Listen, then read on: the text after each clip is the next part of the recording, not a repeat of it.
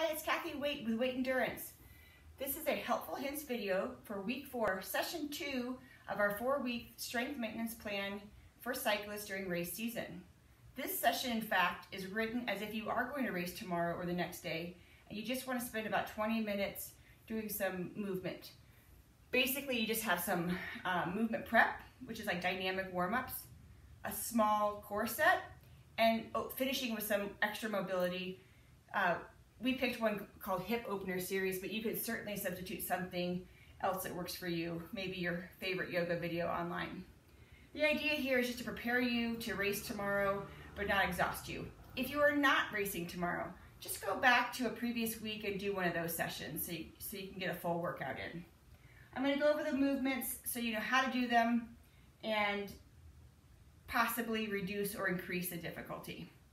There are three movements in the core set I was trying to just kind of hit all the different parts of your body, your anterior, your sides, and your posterior, and your hips.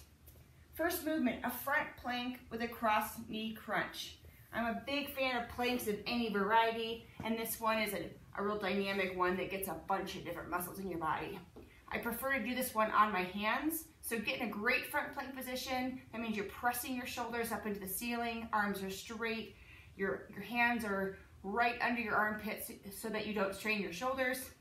Your feet, as you can see, can be closer, like hip width, or for more stability, you can go wider. That's a personal choice. Squeeze your glutes so that you don't arch your back or sag your back. All right, I'm gonna tap right knee to left elbow and back up.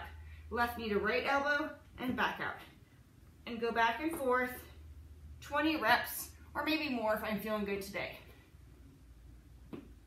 Simple movement, but very effective for recruiting many muscle groups in your body. All right, next you have a Superman. That's mainly geared towards getting your low back, a little bit of your shoulders, and a little bit of glutes.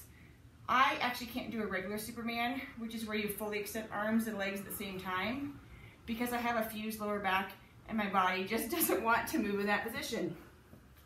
So I do the alternate movement, the alternate Superman, which is like right arm, left leg, left arm, right leg, left arm, right leg. Easy for me to say. So I'll show you that version and you can then figure out which one works best for you. So I'm gonna lift my right arm and left leg and pause, then left arm, right leg and pause. You can really feel that in your glutes and low back.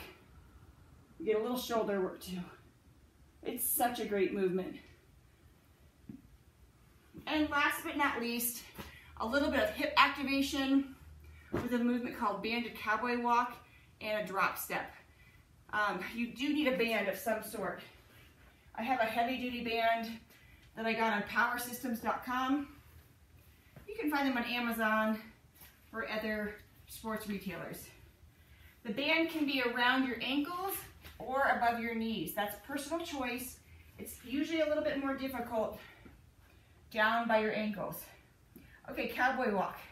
You step uh, forward and sort of wide like you're a cowboy that just got off its horse. His horse, her horse. It's not a fast movement. If I rush this, it doesn't do anything. So slow step, pause. Slow step, pause. Got that? Slow. You're a slow cowboy or cowgirl. And to reverse it, I'm gonna do what they call a drop step. So I'll pull my, my knee in and then back out again. So here's how it looks. Kick out, knee in, kick out, and pause. Again, it's slow. Knee in, kick out, knee in, kick out. If you go quickly, it does nothing. So there's a lot of cool hip movements you can do with the bands. You may have heard of like monster walk, that's a pretty common one. And that's it for race week. Do three sets of those three core movements. Do some extra foam rolling. Follow our hip opener video for a really great series to open up your hips. And mostly rest and get ready for race week. Have fun.